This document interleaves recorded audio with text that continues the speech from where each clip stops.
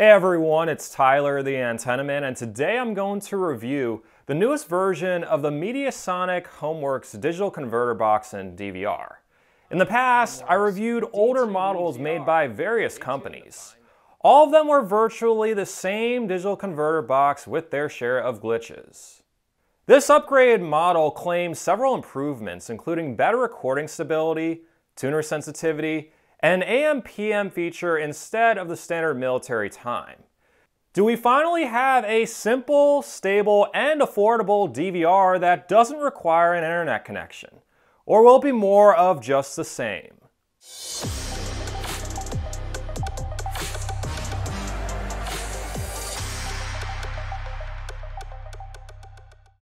If you're a cord cutter or use an antenna, make sure to subscribe to my YouTube channel and hit the bell icon to receive a notification whenever I post a new video. If you decide to purchase this unit, be sure to use one of my affiliate links in the pinned comment below or in the description of the video to help support my YouTube channel. So there are actually multiple ways you can use this DTV box. The main purpose most of you are probably interested in is the DVR function. However, it can also be used as a standalone TV tuner for an old CRT TV, projector, or a new TV with bad tuner sensitivity. In addition, it also has a signal meter feature that's very helpful to locate the best spot for an antenna. I'll demonstrate this feature a bit later in the video. My first impression of this converter box is much better than others I reviewed in the past. I noticed that the remote has been significantly improved. Specifically, the buttons on it are a lot easier to press and the converter box is a lot more responsive to them compared to previous models. I will say that some of the buttons are oddly placed. For example, here are the record, play, fast forward, and rewind buttons. Thankfully, it doesn't take too long to memorize the location of each of them. I noticed that there are more ways to connect this box to a TV compared to previous versions. It has the same coax, RCA, and HDMI outputs, but there are some additional RCA connections that I'm not too familiar with. Some of you may be. It would be best to connect this to your TV with an HDMI cable so that way you keep the HD picture quality on all of your local channels.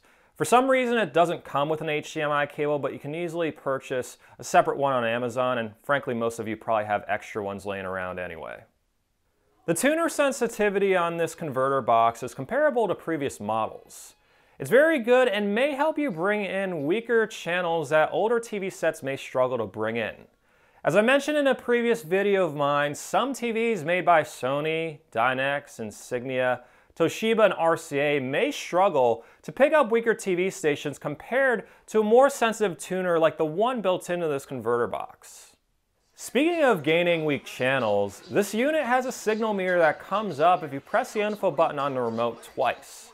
This is very helpful to locate the best spot for an antenna instead of putting it in a random spot and kind of hoping for the best. This DTV box also has a manual search feature that can help you add a TV station that doesn't show up on a regular channel scan. Let's say you have your antenna set up and you notice your local NBC channel is not on the list.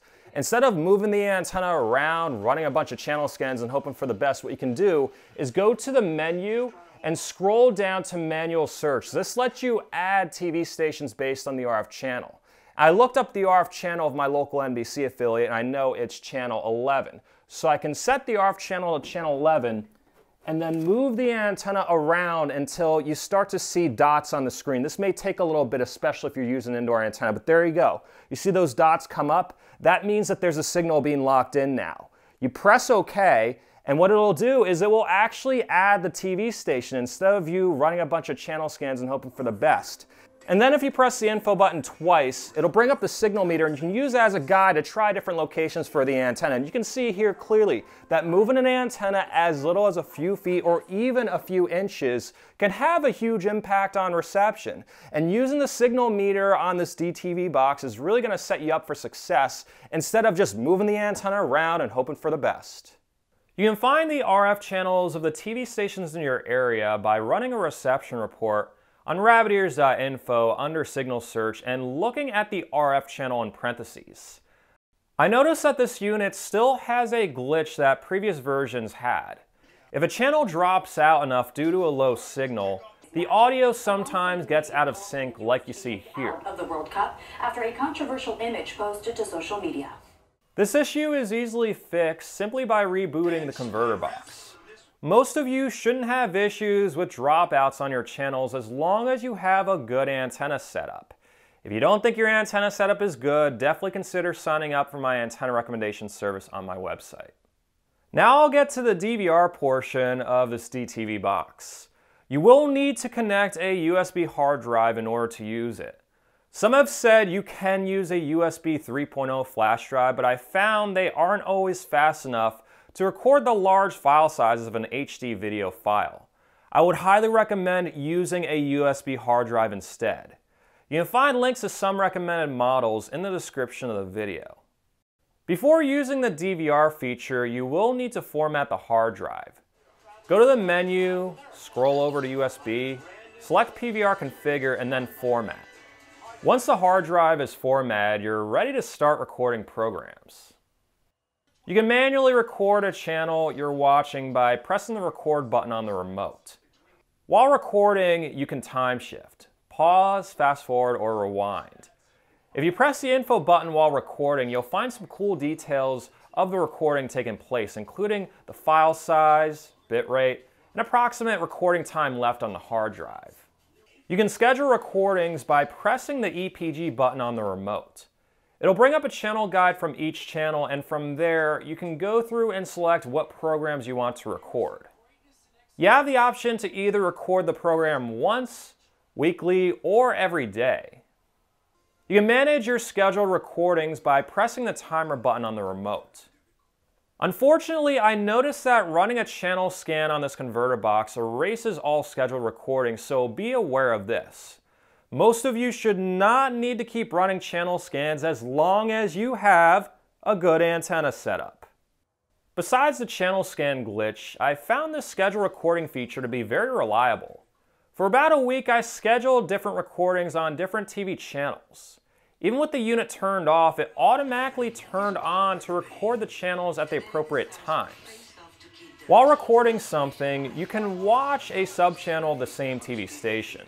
For example, I was watching 16.1 and I'm able to watch 16.2 at the same time, but nothing else unless it broadcasts on the same RF channel. However, I did find a very easy workaround. If you go to the menu and change the modulation to loop through, it will pass signals from the antenna to the coax output on the converter box. If you connect the output of the converter box with a short coax cable, you'll be able to watch a different channel even while the converter box is recording one. You'll just need to switch inputs on the TV.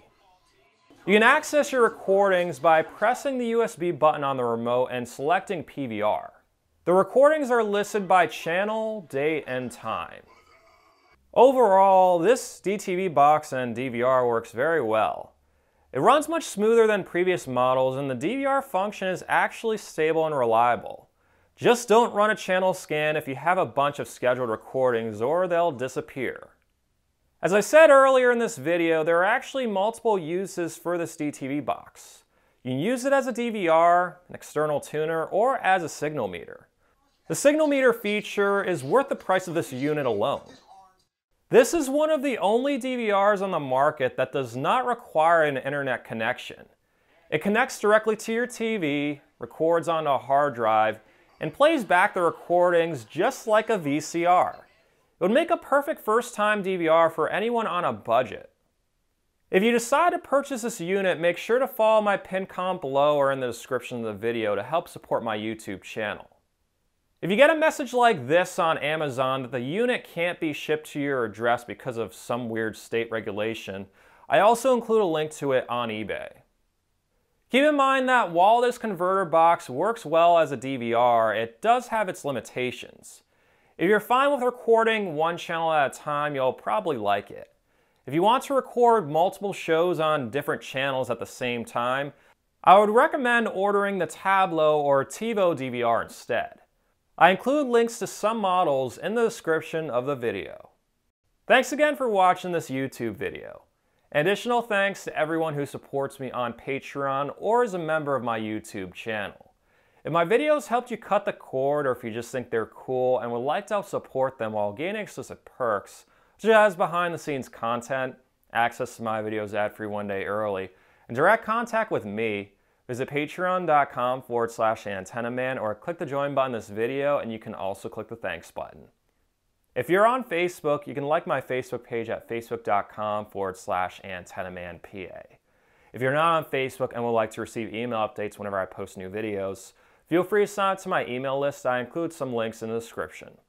Stay tuned to my YouTube channel for more cord cutting and antenna related videos and have an awesome day.